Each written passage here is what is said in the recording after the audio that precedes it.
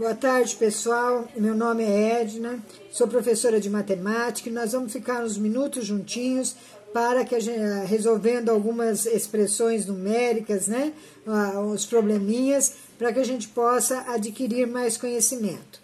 Tá? Então, vamos pensar o seguinte, gente, a matemática, ela é fácil, né? Há muito tempo nós, foi colocado na nossa mente que a matemática é difícil, mas a matemática não é difícil, ela é fácil, basta a gente aprender a gostar de matemática.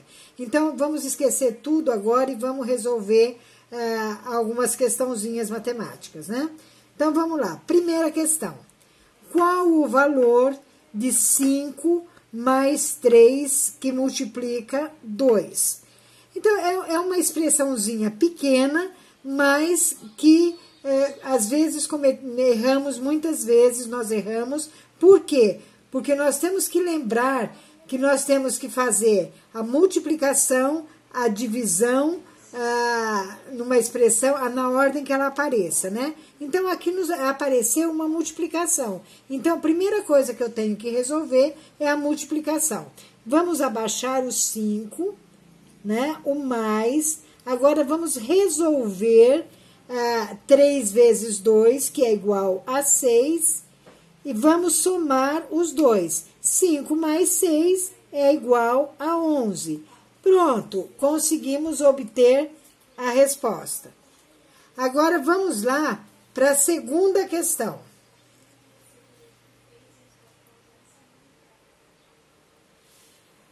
A segunda questão é um probleminha aqui. Então, nós temos que ler com muita atenção para resolver. Então, vamos lá. Maria leu três sétimos dos capítulos do livro de Mateus da Bíblia. Se no total são 28 capítulos, quantos ainda ela não leu? Então tá, vamos começar aqui. Maria leu quanto? Maria leu 3 sétimos, tá? 3 sétimos.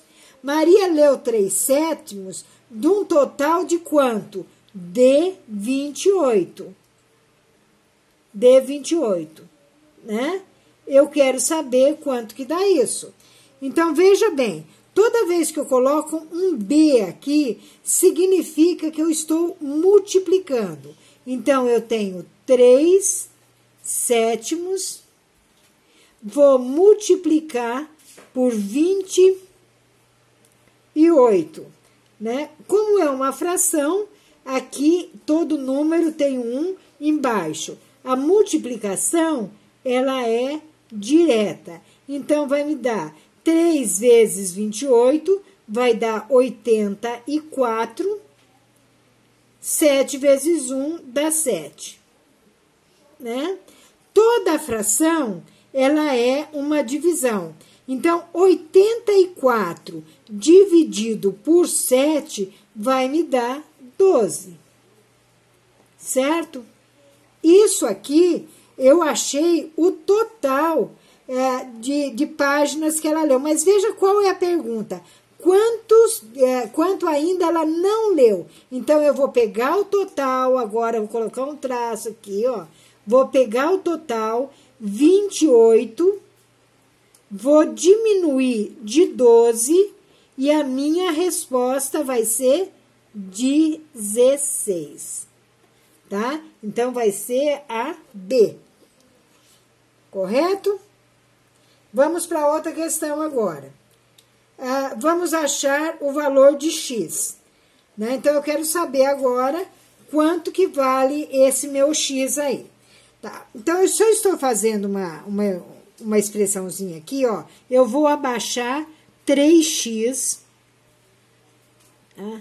Vou fazer aqui ó, chuveirinho, tá? Lembrando dos jogos de sinal, eu vou multiplicar menos 2 por x, vai dar menos 2x. Vou multiplicar menos 2 por menos 4, vai dar menos com menos, mais 8, tá? Eu estou multiplicando, ó. Menos 2 por menos 4, vai dar mais 8. É igual a 10. certo? Então, agora eu vou fazer aqui, ó, é, juntar x com x, né?